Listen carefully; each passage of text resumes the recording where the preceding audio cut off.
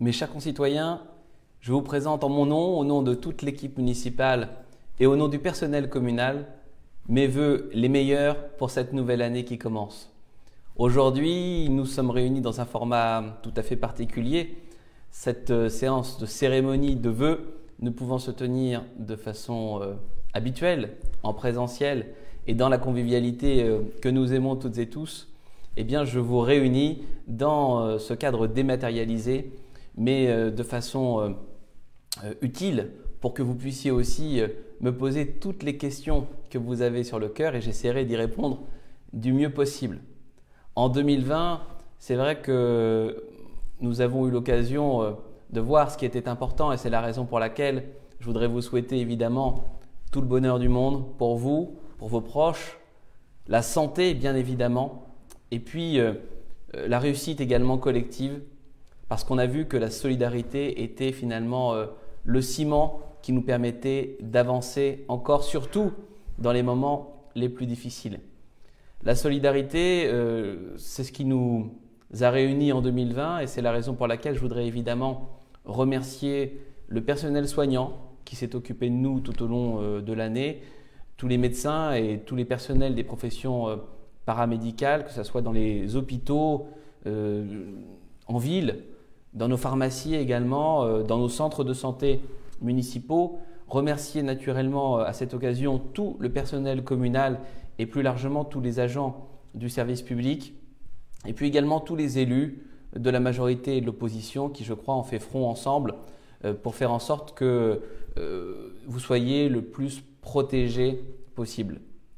Évidemment, 2020 était une année tout à fait particulière également en raison des élections municipales et je dois vous remercier à nouveau pour la confiance euh, que vous nous avez témoignée à moi et à l'équipe municipale, et également à tout le personnel communal, parce que vous, avez fait le choix de continuer tout le travail qui avait été amorcé depuis 2014, euh, le choix euh, de continuer à avancer et pas évidemment le choix du, statu quo ou de la démagogie. Et c'est la raison pour laquelle vraiment je vous suis extrêmement reconnaissant parce que euh, avec, euh, avec mon équipe, nous avons simplement la passion d'agir à votre service et je suis très heureux de pouvoir continuer. 2020, c'est évidemment une année qui nous a donné euh, l'honneur de vous servir et également de vous protéger, ce que nous allons continuer à faire. Et j'ai d'ores et déjà le plaisir de vous annoncer que samedi prochain, il y aura une grande opération de testing pour que euh, les, clamartoises et les clamartois puissent se faire tester massivement face à la recrudescence de l'épidémie et à l'arrivée euh, de, cette variante du virus qui évidemment nous inquiète toutes et tous. Euh, vous protéger, ça a été évidemment distribué plusieurs dizaines de milliers de masques en lien avec le territoire Vallée Sud Grand Paris que je préside. Ça a été également distribué des masques dans les pharmacies pour euh, les, patients les plus fragiles au moment où euh, on n'était pas autorisé euh, à leur en donner. C'est également le portage des repas, c'est les tablettes données aux enfants les plus défavorisés et déconnectés. C'est également finalement toute la logistique qui nous a permis de faire face à cette épidémie. Alors évidemment, j'ai une pensée également pour ceux qui sont aujourd'hui encore les plus touchés, à la fois euh, les malades, euh, les familles, les familles endeuillées, et puis également les professionnels qui sont frappés par les mesures décidées par le gouvernement pour protéger l'ensemble de la collectivité. Je pense aux restaurateurs, évidemment, tout particulièrement, aux, cafetiers, aux bars, et puis évidemment à tous les professionnels du spectacle, du spectacle vivant, des autres professionnels de la culture et on pense évidemment très fort à eux en espérant pouvoir très vite retourner dans euh, leur, euh, théâtre euh, ou leur, leurs établissements. Évidemment, nous avons envie de continuer en 2021 à vous protéger puisque nous l'avons tous compris, nous n'en avons pas terminé avec ces difficultés. nous allons mettre en place la mutuelle communale pour faciliter euh, les choses et puis évidemment euh, améliorer votre, votre pouvoir d'achat. Nous allons embaucher davantage de médecins dans nos centres de santé pour renforcer l'offre de soins face à la désertification médicale et également favoriser l'implantation de, de, nouveaux médecins. Et puis, j'ai proposé à nos hôpitaux de passer un pacte avec eux pour que nous puissions bénéficier davantage encore de l'offre de soins qu'ils développent euh, et pour qu'ils la mettent à disposition en dehors de leurs murs. Euh, et puis euh, en échange, nous viendrons les aider à acheter du matériel pour moderniser encore nos, nos, hôpitaux de proximité. Nous avons beaucoup de choses, beaucoup de choses à faire, beaucoup de choses encore à, imaginer ensemble, mais 2020 a malgré tout été une année où beaucoup de choses se sont passées, une année durant laquelle nous avons inauguré la nouvelle mairie, euh, le nouvel accueil Clamart et vous, qui vous permet d'être accueilli dans un espace très modernisé, mais également euh, avec des agents formés à votre disposition pour répondre à toutes vos questions d'un seul coup. Nous avons inauguré le théâtre de verdure, nous avons rénové l'auditorium du conservatoire et j'espère que nous pourrons euh, évidemment l'inaugurer ensemble le plus rapidement possible. Nous avons également commencé à lancer beaucoup, beaucoup de projets. Nous avons livré le parking de la rue de Bièvre et puis le parc du panorama qui maintenant est à la disposition de toutes et tous et je vous invite évidemment à aller le découvrir. C'est également euh, le cas pour l'école euh, maternelle et élémentaire euh, du nouveau quartier Plaine Sud, au sud du quartier de la Plaine, qui est une école magnifique. Nous avons eu l'occasion de l'inaugurer avec les, habitants, futurs habitants, et puis avec les gens également du secteur, du comité de pilotage. Et donc, je vous invite également à aller découvrir ces nouveaux équipements c'est vrai que la 906 est en train complètement de changer de visage. Du rond-point du Petit Clamart qui a été restauré euh, jusqu'au panorama et son lac, en passant par le quartier plein sud et l'enfouissement des lignes à très haute tension, nous sommes en train vraiment de changer le visage du plateau dans le cadre du contrat d'intérêt national que nous avons signé avec l'État. Et j'ai vraiment l'intention de continuer dans cette dynamique. Euh, c'est également le cas pour le quartier des 3F, dit des 3F, et que nous allons dorénavant appeler le nôtre du nom de la grande perspective euh, dessinée par, euh, les, jardiniers du roi. Et puis ces démolitions concernant ce quartier, elles ont commencé, elles vont se poursuivre parce que nous avançons très fort dans les relogements. Nous sommes à plus de 60% de relogement sur la première phase de ce, secteur.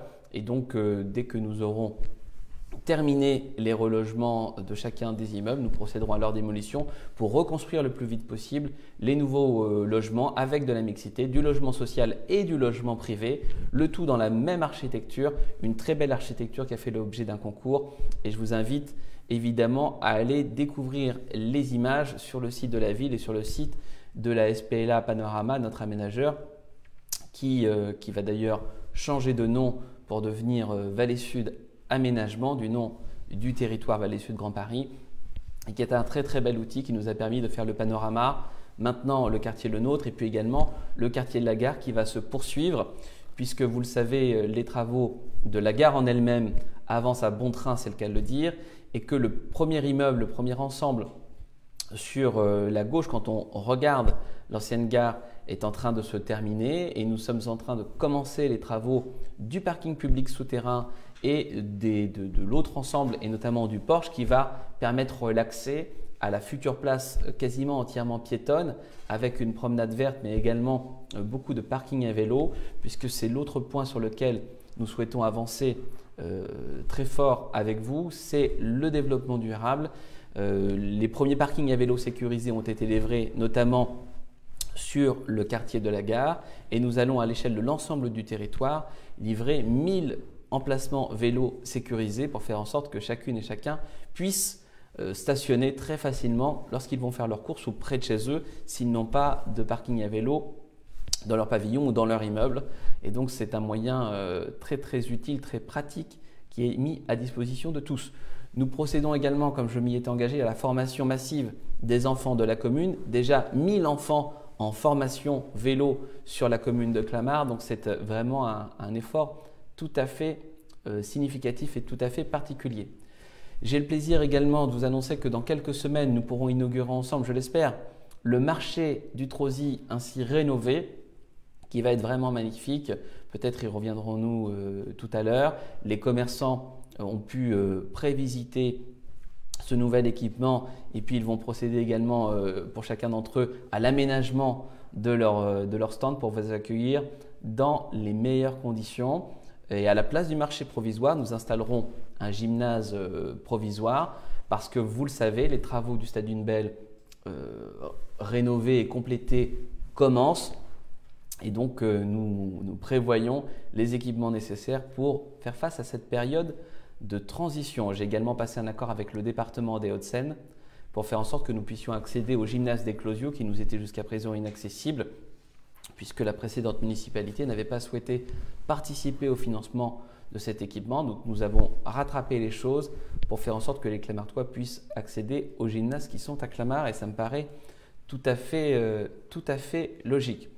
Voilà mes chers concitoyens, vous le voyez, euh, beaucoup, euh, beaucoup de projets à, mener ensemble et puis surtout beaucoup de solidarité que nous allons déployer pour aider à la fois euh, les personnes âgées euh, par le portage des repas, euh, les personnes les plus fragiles pour les accompagner sur le plan social également sur le plan médical et sur le plan psychologique bien évidemment. Une solidarité qui s'exerce également à l'égard de la jeunesse de notre ville parce que je crois qu'il est très important que nous fassions en sorte tous ensemble que cette génération ne soit pas la génération sacrifiée par, par la Covid-19. Et donc évidemment, je me tiens moi-même et, l'ensemble de l'équipe municipale à votre, à votre disposition. Évidemment, j'ai une pensée toute particulière pour Lucien Naïm, euh, qui euh, faisait partie de l'équipe municipale, qui devait en faire partie à nouveau, mais qui a été emporté par cette terrible maladie euh, au, printemps dernier. Évidemment, on pense très fort à lui et à sa famille, et, et puis également à la famille de Patrick Devedjian, l'ancien président du département des Hauts-de-Seine, qui a également été euh, emporté euh, par cette maladie au début de l'épidémie. Mais euh, pour finir sur une note la plus joyeuse possible, je suis certain qu'une fois que, que, cette épidémie sera derrière nous, nous nous retrouverons avec plaisir autour des événements festifs qui font la joie et la particularité de notre commune, notamment la fête des petits pois. Et j'espère que, que d'ici là, le virus sera vraiment derrière nous. Et c'est la raison pour laquelle euh, j'ai le plaisir de vous annoncer que j'ai euh, proposé à l'État que Clamart fasse partie des centres de vaccination, des premiers centres de vaccination, pour que euh, le plus vite possible, et a priori dès le 18 janvier prochain, nous puissions vacciner d'abord les plus de 75 ans et puis ensuite progressivement, je l'espère le plus rapidement possible, la totalité de la population qui le souhaite. Voilà. Évidemment, euh, une fois que la plupart d'entre nous seront vaccinés, nous pouvons espérer reprendre une vie normale et en espérant que d'ici là, la science aura également avancé sur un traitement en plus de ces vaccins qui sont euh, maintenant mis à notre disposition. Très belle année à vous, très belle année à Clamart. Et puis euh, maintenant, je vais avoir le plaisir, je le crois, de répondre à des questions qui m'arrivent sur, sur les écrans. Alors je prends tout de suite une première question de Lionel. Nous attendons avec impatience la mutuelle communale. Savez-vous quand elle sera effective? Alors oui, en effet, j'en parlais tout à l'heure. Euh, ce projet de mutuelle communale, il est très important. Qu'est-ce que c'est? L'idée, c'est de faire une mise en concurrence. Cette mise en concurrence, elle est prête. Elle, euh, est en train d'être lancée par la ville de Clamart. Euh, je l'espère, plusieurs mutuelles vont répondre et nous allons faire jouer la concurrence pour obtenir le meilleur tarif possible pour vous, si vous le souhaitez, une fois que nous aurons les résultats, vous pourrez regarder si la mutuelle communale vous paraît compétitive, vous pourrez y adhérer. Pour vous, évidemment, ça peut faire une économie de plusieurs, euh, plusieurs centaines d'euros par an, peut-être même davantage. Et puis, pour la mutuelle concernée, évidemment, elle espérera avoir le maximum d'adhérents et c'est pour ça qu'elle nous proposera un tarif ultra compétitif. Cette formule, euh, je ne l'ai pas inventée, évidemment, elle est déjà utilisée dans un certain nombre de communes, y compris dans notre territoire, et on s'aperçoit qu'on peut avoir pour vous des baisses sur les tarifs de mutuelle de 10, de 20, voire de 25 ou 30 Donc c'est évidemment tout à fait considérable parce qu'on s'aperçoit que malheureusement les mutuelles sont de plus en plus chères au fur et à mesure que les, actes ou, les médicaments sont déremboursés par la sécurité sociale et le gouvernement. Alors j'espère avoir répondu euh, le plus complètement possible à cette première question. Est-ce qu'on a une deuxième question? Oui. Claude, euh, vous avez engagé une rénovation des écoles clamartoises. Où en sommes-nous? Alors en effet, il y avait beaucoup de, beaucoup, beaucoup de travail à faire. C'est vrai que les écoles, c'est le premier budget de la commune, à la fois en investissement et, euh, en fonctionnement. Euh, nous avons aujourd'hui non plus 23, 23 écoles, mais 24 avec le groupe scolaire Pleine Sud et demain 25 avec le groupe scolaire du Panorama. Nous avions sur le mandat précédent, en plus de tous les travaux d'hygiène et de sécurité, lancé les travaux, c'est ce que vous voyez à l'écran, euh, les travaux de l'école maternelle des Rochers. Donc elle est livrée maintenant et on a une très très belle école maternelle des Rochers donc, qui, a été, qui a fait l'objet d'une extension. C'est cette extension que vous voyez. Et maintenant nous sommes en train d'attaquer la rénovation du reste de l'école maternelle. Nous avons également livré euh, l'école euh, Pleine Sud qui est un très beau groupe scolaire de 16 classes qui va permettre d'accueillir non seulement euh, tous les élèves du nouveau quartier, mais également éventuellement une part euh, des autres enfants si c'était euh, si utile ou nécessaire. Et puis nous avons fait beaucoup de travaux, également plus de 7 millions d'euros investis pour l'école Jules Ferry afin de, remettre l'école à flot. Vous savez peut-être que dans ces anciennes écoles, souvent, et c'était le cas Jules Ferry, il fallait pour aller au premier étage, d'abord passer par le deuxième étage, redescendre au premier, euh, pour aller euh, d'un bout à l'autre du premier étage, parfois repasser par le rez-de-chaussée ou repasser par le deuxième. Bref, c'était tout à fait, euh, tout à fait inadapté, et donc on a remis tout ça en bon ordre. Et puis nous avons également étendu les capacités de cette école de sept salles de classe. Donc nous avons beaucoup de marge de manœuvre maintenant dans ce, dans ce secteur. Et puis nous allons également travailler avec euh, l'éducation nationale euh, pour faire plusieurs, euh, plusieurs choses. D'abord, revoir les secteurs à la marge si c'est utile pour faire en sorte que les écoles qui manquent d'élèves puissent en avoir un peu plus et que les écoles qui pourraient avoir un petit peu plus de, de, souplesse puissent, puissent, en obtenir. Nous allons également procéder à la démolition de tous les algécos qui restaient encore dans euh, les différentes écoles de Clamart parce que je considère que c'est évidemment euh, au XXIe siècle de, chauffer des passoires énergétiques euh, depuis des décennies, ça ne me paraît pas forcément être une très très bonne option. Donc nous faisons en sorte de supprimer ces algécos. Nous allons commencer par les algécos qui étaient dans l'école de, la mairie. Et puis au fur et à mesure du mandat, nous traiterons toutes les, autres, toutes les autres écoles. Nous avons fait en sorte de travailler d'abord sur tout ce qui était hygiène et sécurité. Et nous allons, euh, nous allons continuer dans cette, euh, dans cette direction et nous faisons en sorte, avec euh, à la fois l'adjointe en charge des affaires scolaires, Imenel Bakali, et puis toute l'équipe qui est autour d'elle, et je pense en particulier à Benoît Deschamps, qui est le, nouvel élu en charge des travaux dans les écoles, d'avancer encore le plus vite possible. Et puis, dans le courant de l'année, nous aurons également l'école l'école du panorama qui sera livrée et qui est un magnifique groupe scolaire de 21 classes qui va nous permettre d'avoir une école euh, tournée vers le développement durable avec un jardin par classe et puis qui nous servira également de réserve pour pouvoir démolir et reconstruire l'école maternelle du jardin parisien qui en a bien besoin dans les années qui viennent. Et puis euh, nous nous intéressons également à l'école maternelle des Closio euh, qui nous, nous, pose problème parce que c'est un bâtiment de type Paéron euh, où les fenêtres ont du mal à ouvrir et à fermer, où nous sommes dans de, mauvaises conditions bâtimentaires. Et donc, euh, j'ai également prévu de faire détruire cette école dans le courant de ce mandat. Voilà pour euh, les éléments sur les écoles. Alors, j'ai une autre question posée par Daniel. J'ai lu dans le Clamar Info que le gymnase Le Pennec avait un problème de construction. Je n'ai pas bien compris. Pouvez-vous m'en dire plus? Oui, en effet, c'est plus qu'un problème de construction c'est que lorsque nous avons procédé à la démolition du gymnase Deschamps qui était à côté, euh, eh nous nous sommes aperçus que le gymnase Le Pennec mm, avait été construit simplement avec euh, trois côtés et que le quatrième côté n'avait pas été entièrement construit. Donc évidemment, non seulement ça n'est pas conforme au permis de construire qui avait été euh, obtenu à l'époque, mais en plus c'est évidemment une situation qui a mis clairement en danger les utilisateurs de, cette, de cet équipement. Donc nous avons euh, fait procéder à la mise en sécurité de, l'équipement et puis nous prenons les mesures nécessaires pour le plus rapidement possible pouvoir euh, réouvrir à la fois euh, la salle de musculation Et puis également, très rapidement maintenant, je crois dans quelques jours, la salle de gymnastique et nous en avons informé le club concerné. Alors je continue avec Loïc. Le Haut-Clamart change en positif. Quand est-ce que les projets seront terminés? Panorama Pleine Sud. Merci d'abord euh, Loïc. C'est vrai qu'on essaie de se donner le plus de mal possible pour euh, changer la face de cette 906 qui était un peu laissée euh, à, l'abandon. Il y avait bien sûr les travaux du tramway. C'est vrai que l'arrivée du tramway T6 en 2014, ça a été très très positif. Mais si on ne change pas ce qu'il y a de part et d'autre, le travail euh, n'est pas satisfaisant, n'est pas terminé. Donc le panorama, bah, c'est déjà très très avancé. Je vous invite à aller voir. Euh, d'abord, vous pouvez vous promener autour, autour du lac.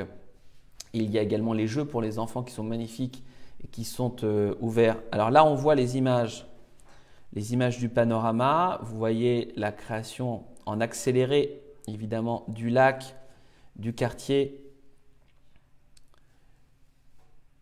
et des jeux qui ont été euh, élaborés aussi avec les enfants. Donc ce quartier, c'est un quartier qui non seulement euh, eh bien, change le visage de la 906, et puis c'est également une bonne opération pour, euh, pour la commune. On le voit le, résultat final de la première phase avec ces, très grands jeux. Bonne opération pour la commune, d'abord parce que il y a des nouveaux habitants qui vont participer à la contribution fiscale et ça m'évite d'avoir à, augmenter les impôts sur la commune comme le font beaucoup d'autres communes. On arrivera à avoir une stabilité fiscale entre les, grâce aussi aux, baisses, aux baisses d'impôts sur le territoire. Et puis, euh, et puis euh, surtout, euh, c'est une opération qui nous permet de dégager aussi un excédent qui va venir dans les comptes de la commune et qui permettra d'équilibrer aussi les comptes, les comptes de la ville. Donc je me réjouis vraiment. il y a également des nouveaux commerces qui ouvrent dans ce secteur. Donc c'est une belle, c'est une belle dynamique. Pleine Sud, c'est un peu aussi euh, la même chose. C'est une opération très positive puisqu'à la place de friche industrielle, nous avons un quartier mixte avec de l'emploi, du commerce, euh, mais aussi euh, du logement et tout type de logement, du logement très social, du logement social, du logement intermédiaire et une majorité de logements privés, une école, bientôt aussi un gymnase, un nouveau gymnase, un hôtel. Nous allons avoir un hôtel Moxie, c'est la chaîne Marriott qui s'implante à Clamart et puis tout le long de la 906, on a également d'autres opérations qui nous permettent de changer vraiment le visage de cette 906. Et j'en parlais tout à l'heure également, euh, mais peut-être y reviendrons-nous. Euh, l'enfouissement des lignes à très haute tension, c'est vraiment un projet qui me tient tout particulièrement à cœur parce que cette, cicatrice, euh, c'était vraiment quelque chose de, de pas possible. Alors j'ai Carla qui me demande, j'ai entendu parler d'un projet d'agrandissement du lycée Mono, qu'en est-il? Donc le, en effet, depuis une dizaine d'années, euh, nous avons un souci euh, de, lycée, non pas un problème de qualité, au contraire, le lycée est très attractif et tout le monde, tout le monde souhaite aller dans ce, dans ce lycée, et c'est très bien ainsi. Mais par contre, vous savez que la génération du baby boom euh, a entraîné davantage de naissances dans les années 2000 à 2003, et donc évidemment, dans les années 2015, 2020, on a eu beaucoup plus euh, d'enfants qui sont arrivés en âge d'être scolarisés en lycée et le lycée était plein comme à peu près 15% des lycées en Ile-de-France. Et rien n'avait été anticipé pour accueillir davantage de lycéens ou construire de nouveaux lycées dans les villes euh, aux alentours. Donc tous ces, problèmes sont en train de se régler. D'abord, il y a deux lycées neufs qui sont prévus par la nouvelle euh, majorité régionale, à la fois sur Bagneux et puis également sur la ville du, Plessis-Robinson. Donc, c'est des lycées qui vont avoir des capacités très importantes. Et puis également, euh, j'ai obtenu euh, avec euh, l'équipe de, Châtillon une extension du lycée actuel Mono, 210 places supplémentaires qui devraient pouvoir ouvrir en septembre 2022. Donc, il ne reste plus finalement qu'une année à tenir et ensuite nous aurons une grande capacité. Et puis par ailleurs, euh, j'aimerais bien euh, obtenir également un lycée privé sur la commune et j'y travaille activement. Euh, la prochaine question de Jean-Michel. Que faites-vous pour moderniser le service public? Ah, C'est un, un vaste sujet. C'est vrai qu'il y a beaucoup de travail à faire en la matière. pas seulement sur le service public communal, mais sur tous les services publics en général. J'espère qu'on pourra, euh, nous, euh, être exemplaires dans la modernisation. C'est ce qu'on fait avec Clamart et vous. Et je vous invite à venir voir vraiment dans ce nouvel accueil, puisque avant, si vous aviez, voilà, on le voit à l'image, vous aviez euh, trois questions je sais pas, une question d'urbanisme, une, inscription en crèche et puis euh, je pas, une inscription sur les listes électorales par exemple, vous étiez renvoyé dans trois services différents. Là, vous avez en face de vous des agents qui sont formés pour répondre à toutes vos questions d'un seul coup. Et si vous appelez également au téléphone, je ne sais pas si vous avez remarqué ça, euh, mais vous aviez jusqu'à présent un automate qui répondait euh, au téléphone à Clamart. Il fallait taper sur des touches euh, taper 1, taper 2, taper 3 jusqu'à temps d'avoir la bonne personne si tant est que ça raccroche pas avant. Là, vous avez des vrais gens qui vous répondent au téléphone et puis qui sont capables euh, de, trouver des solutions aux difficultés que vous rencontrez ou aux questions que vous leur posez. Euh, nous travaillons également beaucoup sur la dématérialisation du service public pour que de chez vous, de votre tablette, de votre téléphone, de votre ordinateur, vous puissiez faire vos démarches, que ce soit des démarches pour l'état civil ou d'autres démarches, on fait en sorte de, tous les mois d'augmenter le nombre de démarches en ligne pour vous faire gagner du temps simplement. Et puis également parce que pour nous, c'est une façon aussi de faire des économies de redéployer ce, personnel sur des missions encore, encore plus utiles. Alors, j'ai une, une question d'Aurélia. Pourriez-vous nous faire un point sur les commerces qui vont ouvrir en 2021 Quelles enseignes aurons-nous la chance de voir s'installer cette année? Où en êtes-vous sur le dossier sortie du Carrefour City et début des travaux du Monoprix? Alors, euh, plusieurs questions dans cette question. D'abord, euh, les nouvelles enseignes, eh bien, on fait tout pour en attirer. Euh, nous sommes en train de travailler avec un monsieur bricolage qui devrait pouvoir s'implanter dans le centre-ville.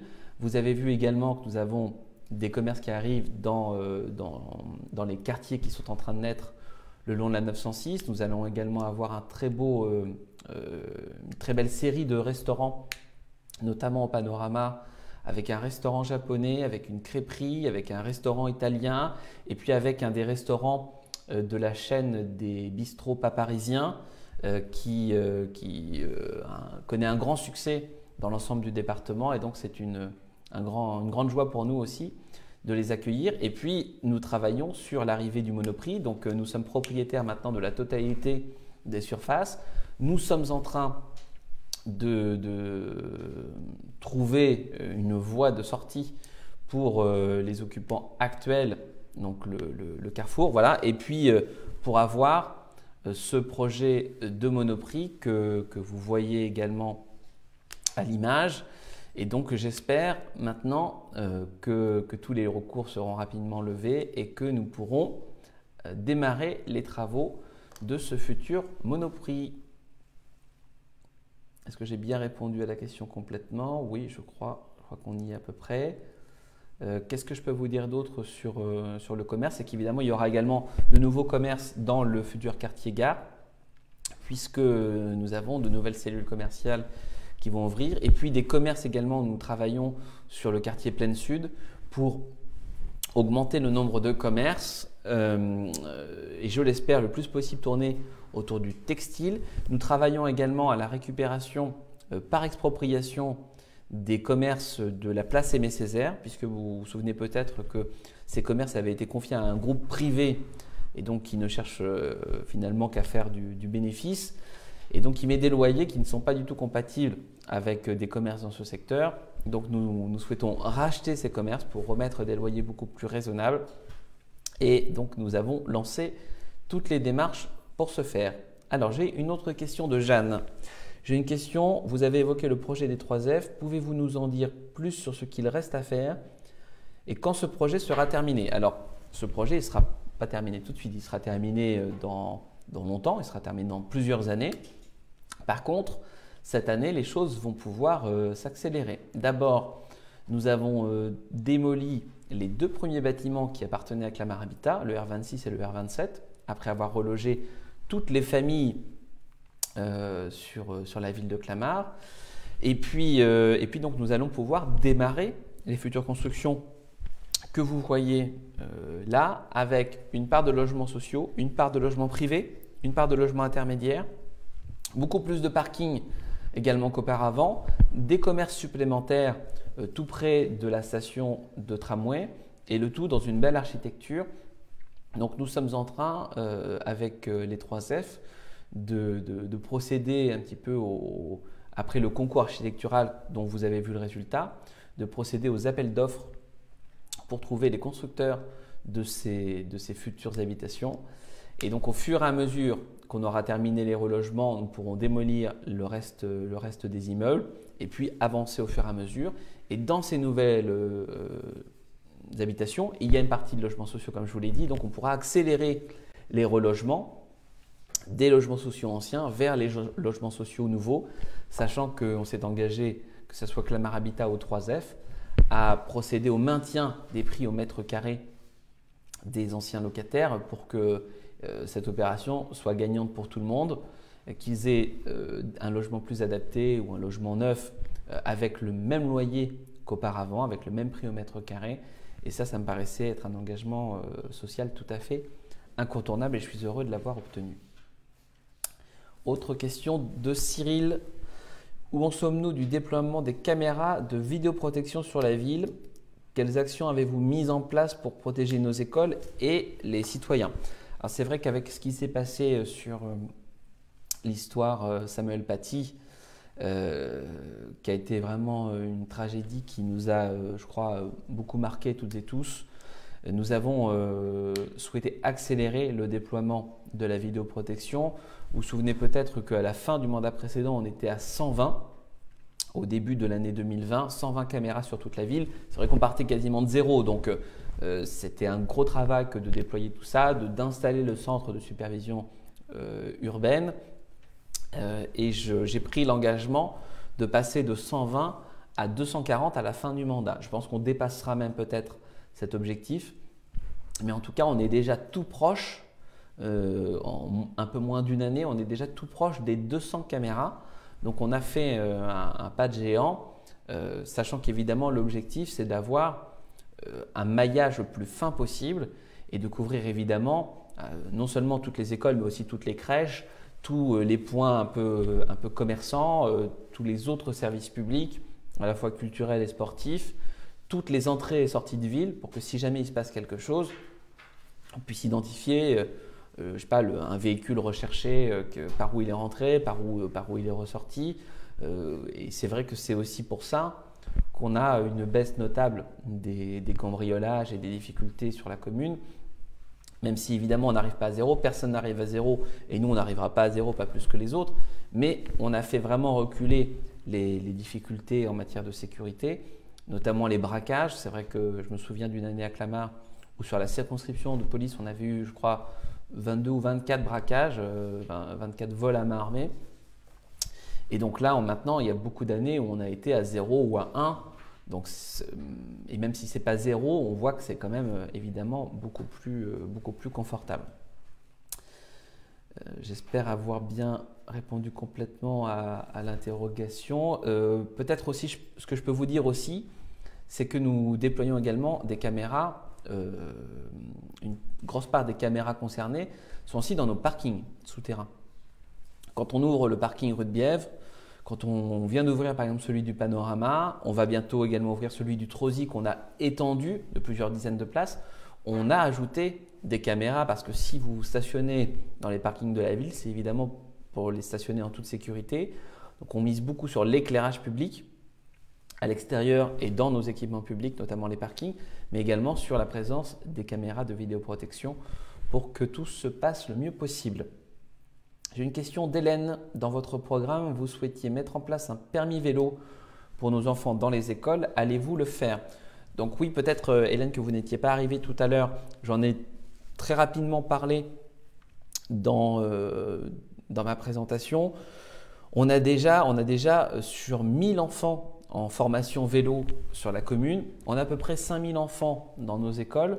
Donc l'idée, c'est de, prendre toute une génération d'enfants et puis chaque année de continuer, euh, de continuer ces formations pour que bah, dans 5 ans, finalement, on ait touché euh, à peu près tous les enfants de l'école élémentaire.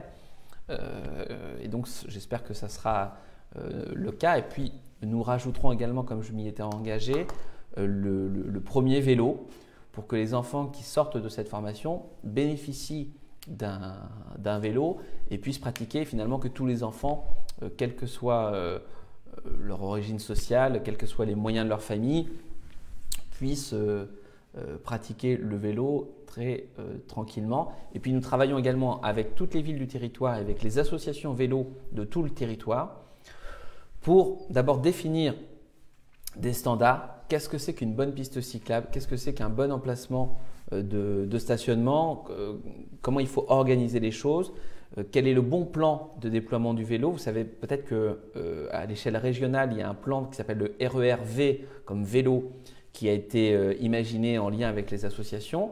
Et donc nous avons des lignes de ce RERV qui passent par le territoire en plus de ces lignes, avec le département, parce qu'il se trouve que c'est aussi ma délégation au département que, la voirie, euh, et puis le territoire, nous travaillons euh, tous ensemble, main dans la main, pour faire en sorte de, compléter les pistes cyclables existantes et d'avoir un maillage territorial le plus complet possible et le plus rapidement possible en lien avec le stationnement vélo.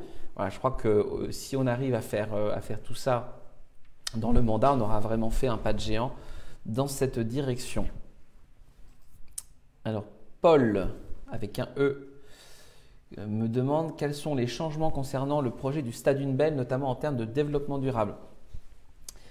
Euh, oui, tout à fait. Vous aviez euh, certainement noté, Paul, que je m'étais engagé à faire évoluer le projet pour l'inscrire encore davantage dans le développement durable. C'est vrai qu'il était déjà totalement végétalisé, mais on a fait en sorte d'augmenter encore sa, sa, capacité de développement durable en faisant plusieurs choses. Donc, vous allez voir des images du, projet. Euh, c'est une visite virtuelle. Vous voyez que le terrain d'honneur est abaissé pour que finalement, depuis la rue de Meudon, on voit davantage encore la forêt.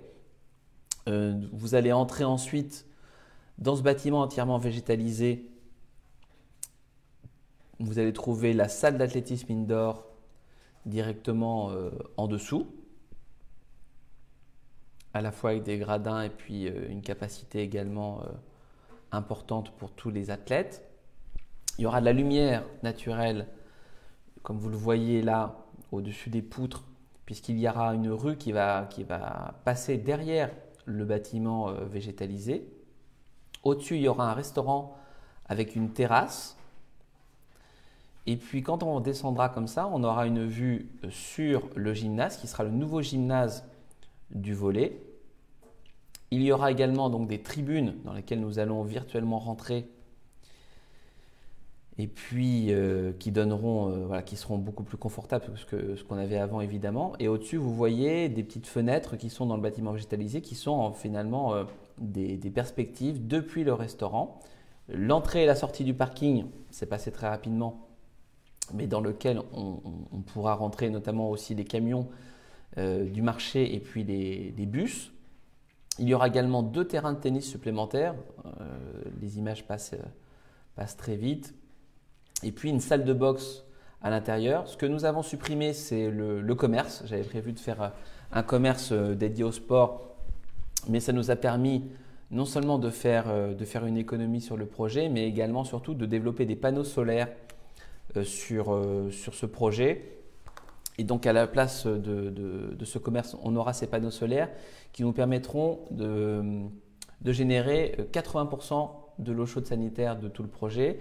On aura également un système de récupération des eaux de pluie et de ruissellement. Également une récupération des eaux souterraines. On travaille avec les services de l'État, du département pour gérer toutes ces questions. Et donc on a vraiment fait en sorte euh, de, pouvoir récupérer aussi un maximum de cette eau pour arroser, non seulement sur le site, mais également les autres espaces verts de la ville.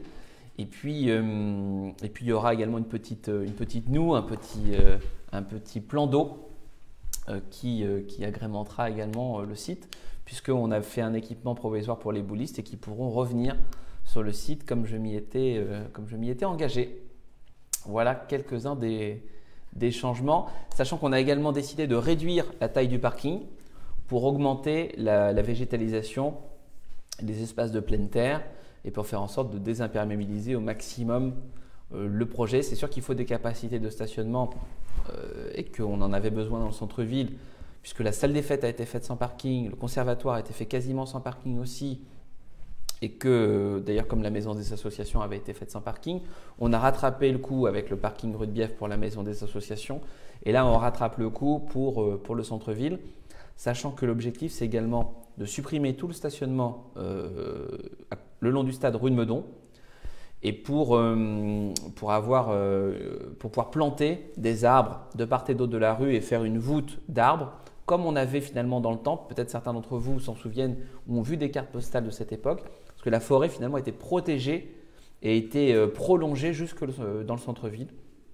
Et puis ensuite, on travaille également sur la piétonisation renforcée du centre-ville D'abord euh, en allant en direction du marché et du Super U, et puis en remontant également. Moi, je mettrais bien également la, rue René Samuel euh, en, piéton, et peut-être une partie du secteur du Troisy. Bref, ça, le plan, on, le fera euh, avec les Clamartoises et les Clamartois et avec les commerçants, et puis également avec les, responsables du service public, notamment les, gens de la RATP pour dessiner tout ça ensemble.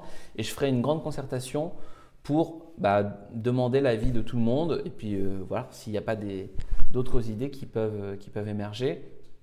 Euh, moi, je descendrai bien également, au moins jusqu'à la rue Martin, peut-être jusqu'au jusqu'au Maryland et euh, jusqu'au centre municipal de santé. Il faut qu'on voit, il faut qu'on en discute. Évidemment, la piétonisation, c'est jamais facile. Il y a voilà, des, des, atouts et des contraintes mais on ne sera pas les premiers quand même à faire la piétonisation, donc je suis sûr qu'on est, est tout à fait capable d'y arriver.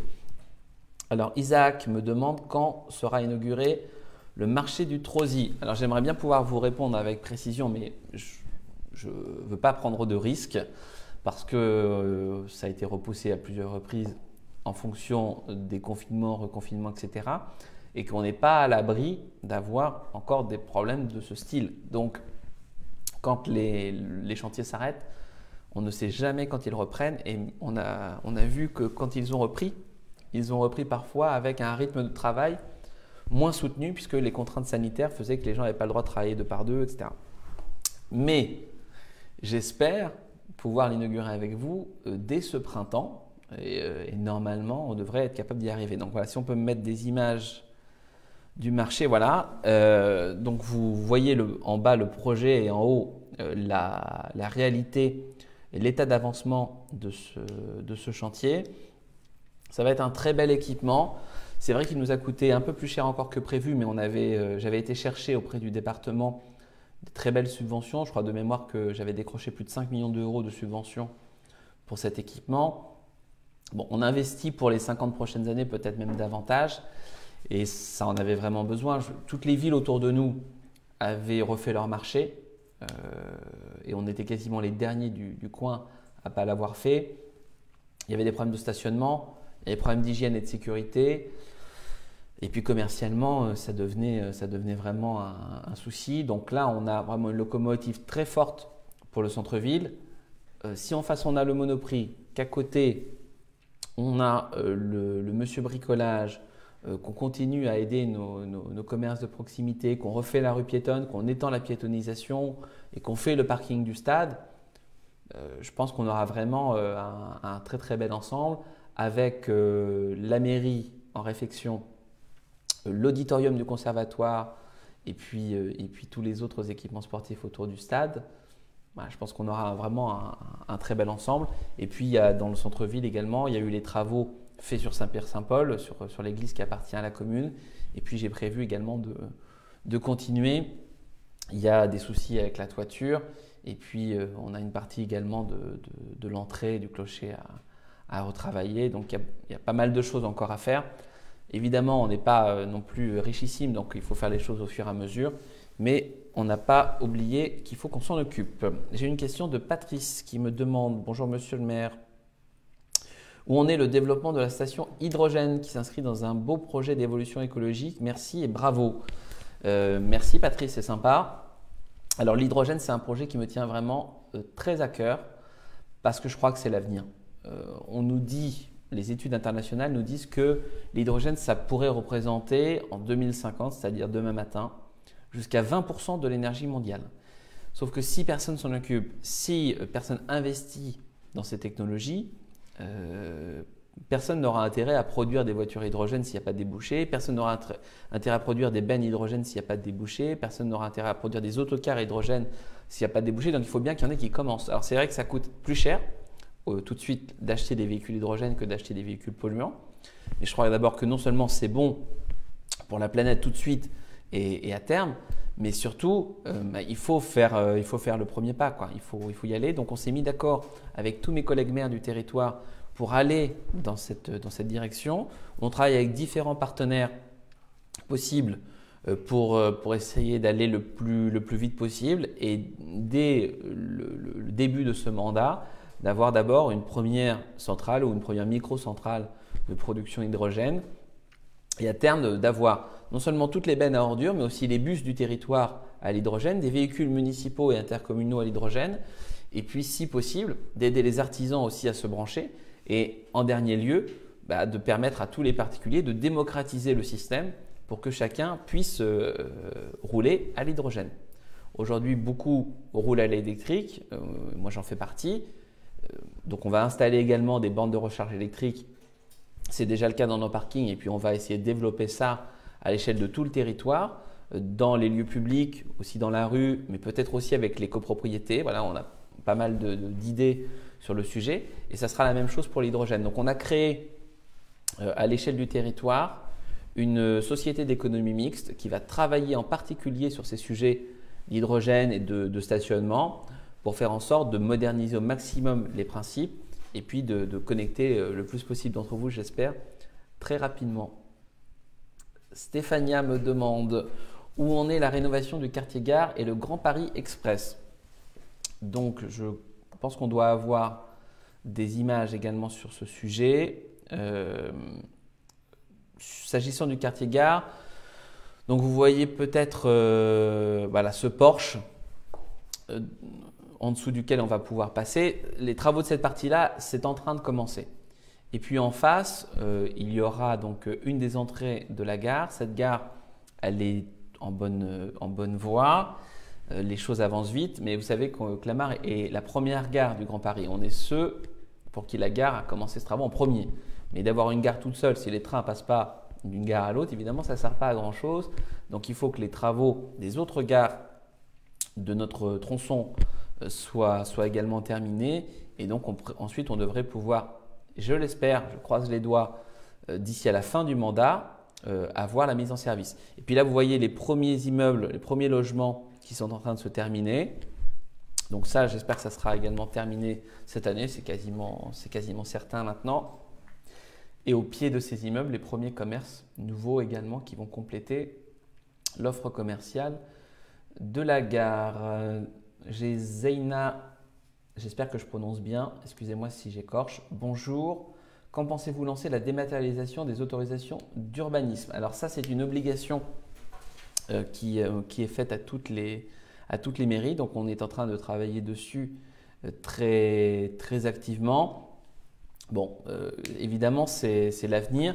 Il faut quand même que ce service public reste, reste accessible à tout le monde. Donc évidemment, on veillera avec le service urbanisme à, à continuer à accompagner les clamartoises et les clamartois, à la fois dans la préparation de leur dossier, mais également sur, sur l'aboutissement. Et puis, il faut également que tous les professionnels, les architectes, euh, soient, soient bien en capacité de, de, faire tout ça. Donc euh, voilà, on est, on est dessus, comme on dit. Alors, Sabine me dit où se situe le centre de santé? Est-ce de vrais médecins? Donc, je vous confirme ce sont de vrais médecins en chair et en os, avec tous les diplômes euh, requis.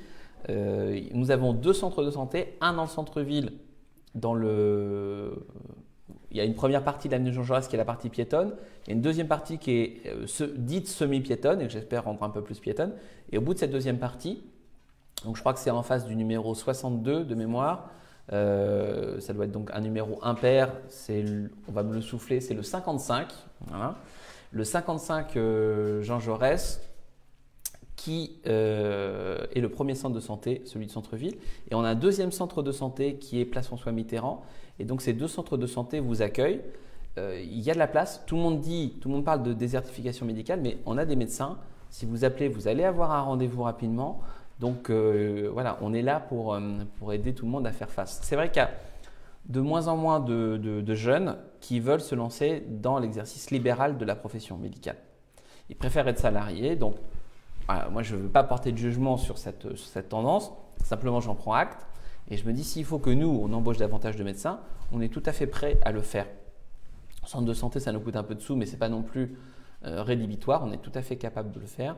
Et donc, euh, je, suis en train de recruter davantage de médecins, d'étendre aussi les vacations de ceux qui le souhaitent euh, qui, sont déjà, qui sont déjà dans nos murs. Et puis, s'il faut étendre ces centres de santé, d'autres. On a également un, centre dentaire qui va ouvrir dans le centre-ville, euh, près de la partie de la source, c'est-à-dire tout près. Il y avait une pizzeria avant, à côté de la pizzeria de la source. C'est la pizzeria de la source qui change. Et donc, il va devenir un centre dentaire. voilà, tout près du magasin Gérode, à côté du traiteur arménien. Dans ce secteur-là, vous allez également avoir une, une très belle offre. Aurélie me demande bonjour concernant l'arrivée du tram à Clamart. Saura-t-on en fin d'année 2021 quel choix sera retenu pour le tracé de la voie? Alors, je vais expliquer peut-être un peu ce qu'il y a derrière cette, cette question. C'est que le, nous avons le T6 qui est euh, sur la 906 qui ensuite tourne route du pavé blanc et va vers Villizy. Et puis nous allons avoir le T10 qui fait Anthony Croix de Berny, qui passe le long du, parc de, Sceaux, qui traverse Châtenay, qui traverse une partie du Plessis-Robinson, le long du parc des Sports, qui arrive à Béclair et qui ensuite devait descendre euh, par la forêt et arriver rue de Meudon, pas très loin du stade. Sauf que pour réaliser ce tramway, avoir une belle piste cyclable et également maintenir nos capacités de circulation, même en passant de 4 voies à 3, on était obligé de taper un peu dans, la bordure de la forêt. Alors c'est vrai que c'était uniquement dans le talus que ça représentait 2 mètres de, fossé et que franchement on n'était pas du tout, euh, euh, c'était pas du tout un sujet euh, sur la biodiversité, mais voilà, ça a ému quand même pas mal de personnes. Et puis c'est vrai que ça faisait plaisir à aucun d'entre nous. Mais il fallait bien quand même conserver nos capacités aussi de, de circulation parce que il faut être sur des modes complémentaires. Il ne faut pas que ça soit euh, un plus pour les uns et un moins pour les autres. Il faut que tout le monde euh, puisse continuer à, circuler correctement. Et si on avait eu des bouchons euh, partout dans le centre-ville avec des reports de trafic et pareil sur le jardin parisien et sur la plaine, tout le monde aurait été mécontent. Donc bref, on a travaillé avec le nouveau président du département, Georges je, que je salue et que je remercie, puis avec la présidente Valérie Pécresse. Et donc on s'est mis d'accord pour qu'il y ait des études qui sont financés par le département, euh, par la région et par l'État, je crois, euh, pour 4 millions d'euros pour étudier la possibilité de passer directement depuis le jardin parisien en souterrain vers le centre-ville de Clamart et puis ensuite euh, soit vers la gare Grand Paris Express d'ici les Moulineaux, soit vers celle de Clamart. Évidemment, ma préférence va pour celle de, Clamart, vous vous en doutez bien, mais il faut voir toutes les contraintes techniques puisqu'on est dans des zones de, carrière. Et donc, euh, on, regarde ces, différents, euh, ces différents tracés. Les équipes techniques vont nous dire ce qui est le plus facile, ce qui est le, moins cher, qu'est-ce qui est possible, qu'est-ce qui n'est pas possible. Et donc, dans les mois qui viennent, j'espère avant la fin de l'année, mais je ne mettrai pas ma main à couper, mais en tout cas, si ce n'est pas en 2021, au maximum en 2022, on, pourra euh, savoir ce qu'on fait en termes de tracé. Ça veut dire qu'on va finalement avoir une, vraiment une super connexion entre le T6, le T10 et euh, la liaison avec euh, la ligne 15 du Grand Paris Express. On peut dire qu'à Clamart, alors qu'on était quand même euh, très très en retrait en matière de transport en commun, là on va avoir vraiment une très très belle desserte. Et j'ajoute que on a ajouté également le Clam Express qui fonctionne, qui fonctionne super bien. Évidemment avec le confinement, bah, il y a eu moins d'usage. Mais par contre, sur le, plan technique, et quand il n'y a pas de confinement en termes de, fréquentation, ça marche super bien, notamment beaucoup de, collégiens et lycéens qui l'utilisent. Euh, et donc, on est très content d'avoir ce nouveau moyen de transport euh, qui, euh, qui, nous a été financé par Île-de-France Mobilité et par, et par le territoire Vallée Sud Grand Paris. C'est un vrai plus pour tout le monde. Alors, une autre question Combien sommes-nous de Clamartois? La population a dû augmenter avec tous les projets. Alors c'est Pierre qui me pose cette question. Pierre, euh, je, ne sais pas si vous allez me croire et si vous ne me croyez pas, je vous invite à aller voir le site de l'INSEE.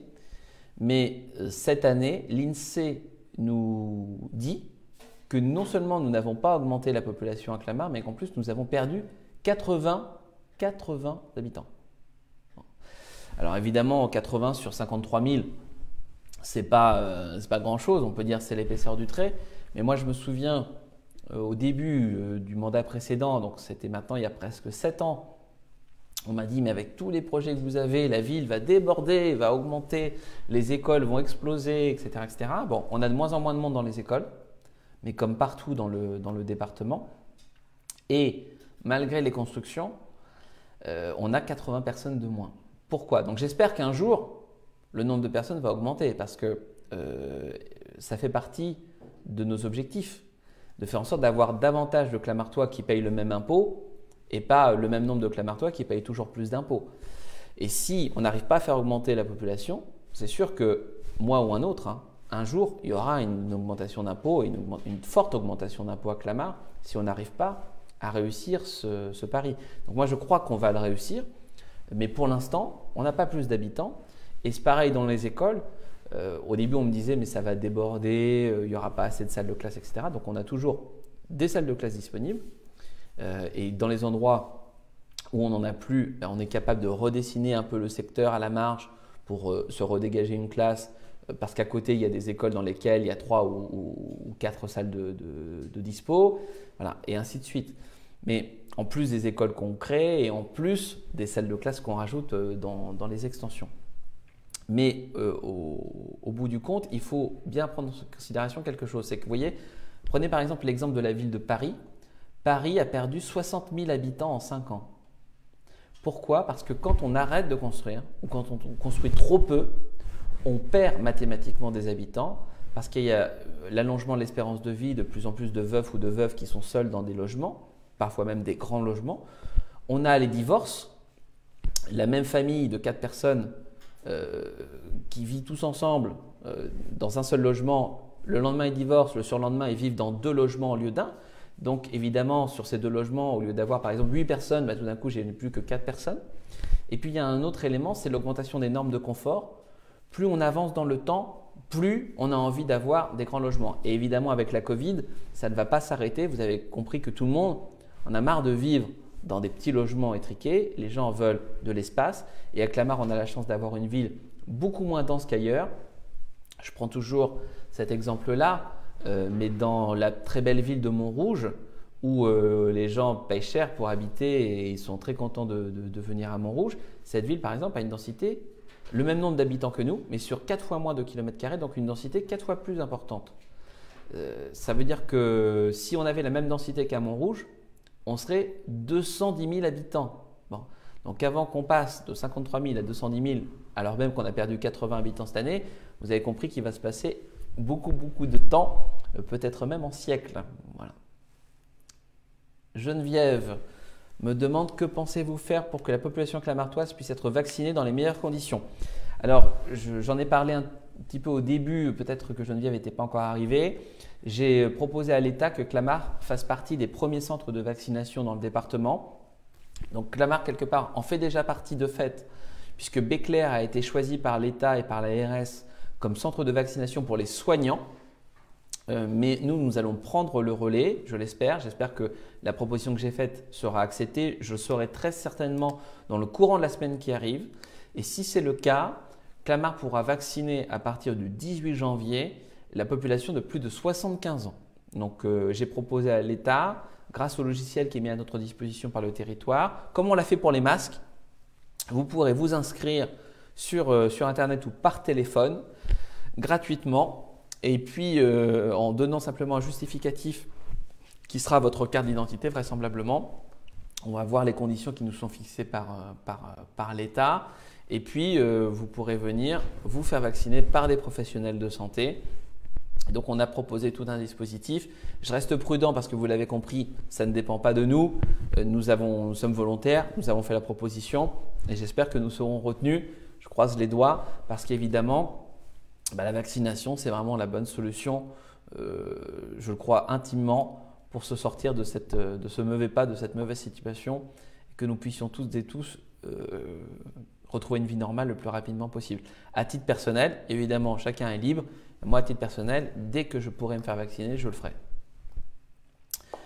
Voilà, bah écoutez, je, je crois qu'on a répondu à pas mal, pas mal des questions qui nous étaient euh, posées. S'il y a d'autres questions auxquelles on n'a pas encore pu répondre, je m'engage à ce qu'on qu y apporte une réponse euh, par, euh, par, écrit ou sur, sur, le site de la ville éventuellement. Il n'y a, a pas de difficulté à ça.